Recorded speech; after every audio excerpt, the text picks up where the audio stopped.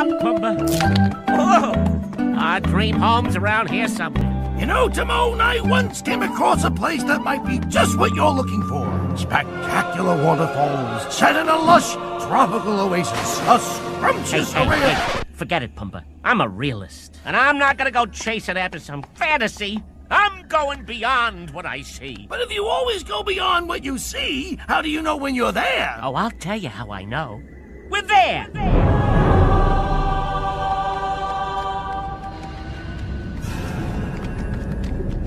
is a lovely spot. Lovely, rustic, picturesque. Home sweet home, Pumbaa. Mhm. Home sweet home. I, I mean, sure, it needs a little work, but it's got good bones. After all, this is an elephant graveyard. And who would ever come to an elephant graveyard? Sire, the hyenas are after the children! See carnivores. Beyond what you see. Beyond what you see.